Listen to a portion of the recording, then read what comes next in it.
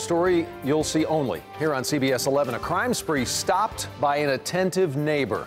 The police pursuit that followed, all captured on camera. Our Brooke Rogers on the story live in Highland Park to tell us what happened here. Brooke?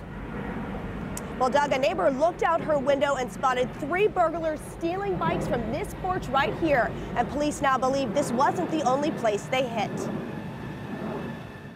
This children's bike is back home after it was swiped from Alan Dickey's front porch early Tuesday morning. But our kids had, had ridden the bikes the night before and putting them up, uh, just, you know, put them on the porch quickly and we didn't think anything of it. Were it not for a watchful neighbor across the street, the bikes might still be gone. When she spotted the thieves in action, she called police. They arrived as the suspects were driving away. Caller was still on the line, and the caller was able to, to tell the dispatcher that the officer on scene was indeed behind the suspect vehicle.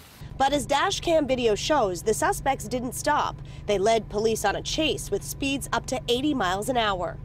It ended here, about two miles away, when the suspects hit this light and took off running. But police were right behind them, and they arrested all three within a few blocks. And inside their SUV, police found another stolen bicycle, a stolen credit card, ID, and gift card. You know, we were a part of a trend, and so maybe they started at midnight or 1 o'clock, and they, they just started randomly picking st streets and looking for property they could easily access.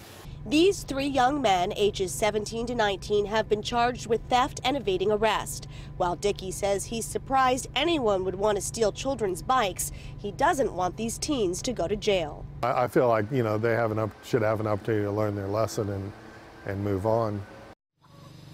And police say they are investigating to see if these three suspects could be connected to other crimes in the area. They also say this is a great reminder if you see something, say something.